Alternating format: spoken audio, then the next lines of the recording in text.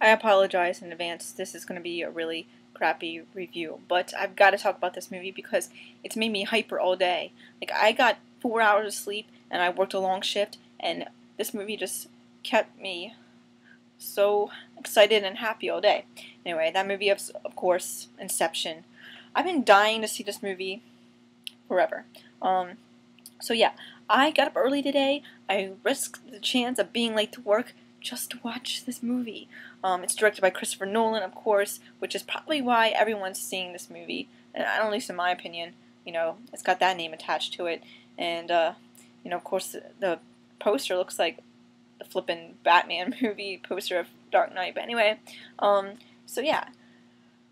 Okay, but the movie, the re- one of the reasons, like one of the main reasons I was like, uh, you know, really excited about this movie is of course Ellen Page is in it, who is my, she's the love of my life. I love her. Jenna, if you're watching, I win. I'm a, I'm more of an Ellen Page fan than you. Anyway, um, so yeah. Okay, this movie is uh, super hard to explain.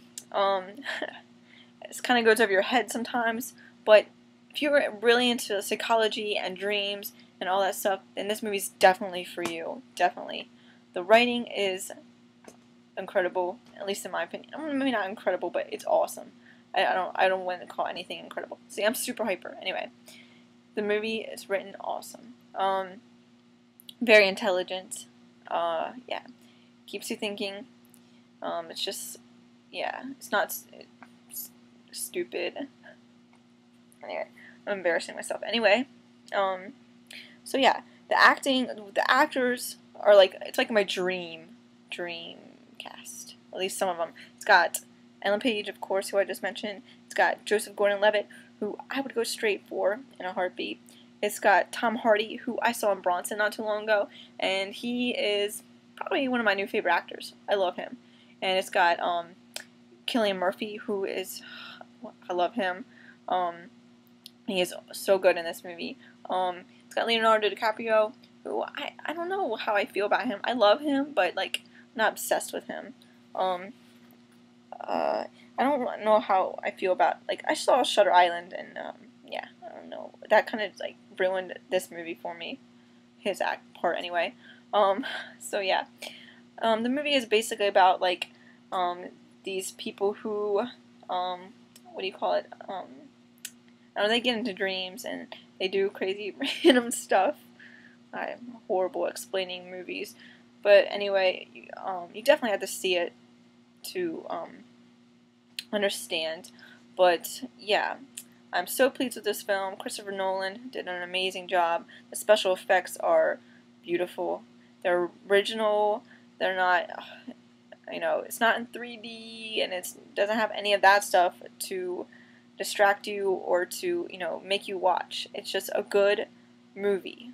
Um, yeah, I've been, it's made me happy all day long. Uh, but yeah. I don't know what else to say about this movie besides I really loved it and I've got to see it again. Um, and that's actually I heard people in the movie theater like leaving. They're like, "Well, I have to see that again to understand." Um, so yeah, definitely pay attention from the very beginning, um, or you'll be lost. Don't be on your cell phone. Anyway, um, that was really quick, and that was probably bad. Should, should probably gather my thoughts together, but um, oh, the other thing I want to say about it is I actually kind of felt like I was dreaming. Like it would start with scenes. Um, I, like one of the points in the movie was like, um, he was trying to explain to her like, um, well, maybe I wouldn't give it away, but anyway, basically, you, you know how like you don't remember how a dream starts, like you don't remember how you got into a circus or whatever. Basically, that's kind of how the movie was. Like you're like, well, wait, you like even though they did show the beginning of it, you almost forget. Like yeah, so you kind of get tripped out. But uh, yeah, awesome movie. So pleased.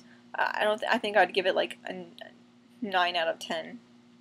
Um, probably more, but I'm just yeah. I don't give anything a ten out of ten. Anyway, hope you guys have a great night. Go watch some. Go. Go watch Inception right now. Anyway, have a good night. Bye.